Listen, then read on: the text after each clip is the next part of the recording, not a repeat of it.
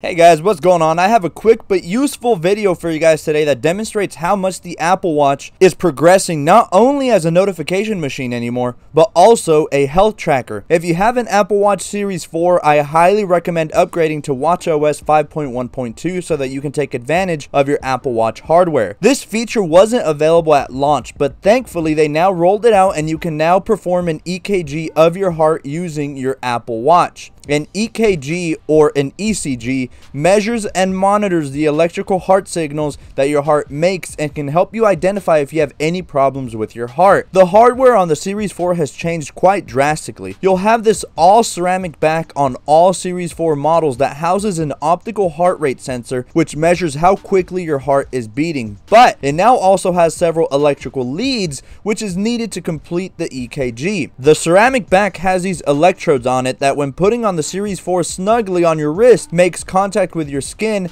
and therefore is able to perform it. There is also an electrode on the digital crown which completes the circuit allowing you to perform your electrocardiogram. Now, it is important to remember that your Apple Watch is not your doctor. Do not rely on the Apple Watch to tell you how healthy or unhealthy you actually are. Just because you have a steady resting heart rate does not mean that you shouldn't go see your doctor. Have your regular physician perform a yearly physical with you to determine your health conditions. It is also important to note that the Apple Watch can warn you if your heart rate drops too low or if at rest your heart rate climbs up suddenly, but it cannot, I repeat, cannot detect a heart attack. If you ever feel numbness on your chest or arms, pain, difficulty breathing, or dizziness, you either need to see your doctor ASAP or dial that 911 on the quick, fam. You might be dying. To perform the EKG, just make sure you updated both your phone's operating system and your watch to watchOS 5.1.2 and you're good to go. You'll first have to open up the health app on your iPhone and enter some information like your date of birth and weight before you can start. Once you do that, you can open up the ECG app on your watch and you'll be presented with an animation to begin. Simply touch, don't press, the digital crown and the EKG will begin. You must have your finger against the digital crown for 30 seconds and all this while refrain from moving and within 30 seconds you'll have a result. And that graphic of a heartbeat ain't for show. That's your current heartbeat live. Amazing, I know. So the main purpose of an electrocardiogram is to check that your heart's upper and lower atrium are beating in sync. What we want is to be in sinus rhythm. This, as mentioned, should signal that your heart is pumping blood as it should without any abnormality abnormalities.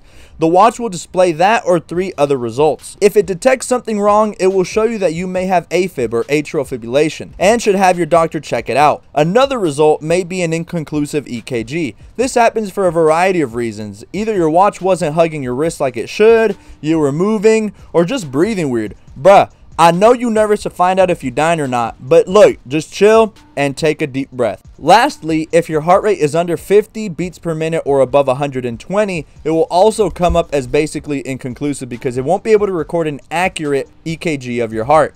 Once the EKG is completed, you'll get a notification on your phone to check out your results. It'll include your average heart rate as well as images of that squiggly line that we see at hospitals. And if you're Albert Einstein, you'll find out that this is a graphical representation of how your heart is actually working. What's even more incredible is you can save the entire test as a PDF to have for some weird reason if you want to keep it and frame it and put it on your wall to remind yourself you're healthy for now, or send it over to your doctor to discuss the results. Also, quick note, this EKG feature is only available in the United States as of the time of this recording. Approval for this technology is needed for this feature to be available internationally, so I apologize for all my international viewers. I just think this is so cool and it really shows the progress Apple is making so that we can be more conscious of our health. When the Apple Watch first came out, it really was basically a boo-boo piece of tech that was kind of gimmicky in my opinion, but Apple has come a long way with the Apple Watch to checking the time, recording a workout, and now even monitoring your heart Apple is doing a lot of things right.